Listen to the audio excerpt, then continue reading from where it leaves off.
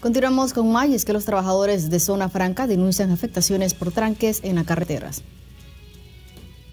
Trabajadores de las diferentes zonas francas del país rechazan los tranques y la violencia que han provocado inestabilidad, inseguridad y temor al momento de dirigirse a sus centros de trabajo. Yo creo que esto nos ha afectado mucho a todos porque a pesar de que venimos caminando en bus, pagando taxi, da molestia a todo económicamente y nos agotamos más porque después que venimos de caminar tenemos que trabajar. Cuando venís caminando te venís arriesgando a todo a un robo, a un accidente, no es igual que esté toda la situación normal. Eh, los trabajadores hemos tenido eh, que hablar con nuestra familia para poder recortar presupuestos y poder garantizar eh, el venir a nuestros puestos de trabajo. Porque hay que decir que aquí, en esta empresa y en muchas empresas del sector, ¿verdad? Los empleadores han tenido el apoyo hacia los trabajadores porque nos han permitido inclusive venir un poco tarde, ¿verdad? Pero hay que decir también que esta situación también ha perjudicado al sector, porque en el caso nuestro hemos tenido aproximadamente un 25% de la pérdida en la producción, ¿verdad? Y eso nos afecta a todos. Eh, estos tranques, ¿verdad? Como ustedes comprenderán, eh, arriesga, y por eso decía yo psicológico, porque todo el mundo viene tensionado, viene nervioso, viene, eh, ¿qué me podrá pasar?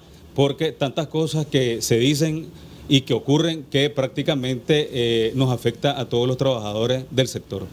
Los tranques ubicados en diferentes partes de Nicaragua no permiten que la materia prima trasladada por transporte de carga no llegue a estas empresas textiles y la misma situación que atraviesa el país ha provocado la ausencia de personal, lo que implica pérdidas económicas para los trabajadores. Estamos viendo muy afectados ya que a producto de todo esto que se ha dado esta situación, con el montón de tranques que hay, tenemos falta de ingreso de materia prima, no se puede exportar y debido a la no exportación no hay cómo pagar el salario.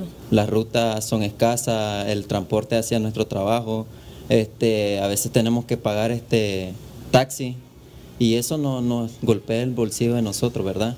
¿Por qué? Porque ya no se está haciendo, ya este, nos, estamos, ah, nos estamos gastando más de lo que estamos ganando ahorita porque se están haciendo afectadas la, la, producción. Están detenidos en, en, el puerto de Corinto y si ellos no salen nosotros no tenemos pago. Nos está afectando bastante porque nosotros trabajamos por producción y al no salir el el embarque de ellos nosotros no vamos a ganar nada.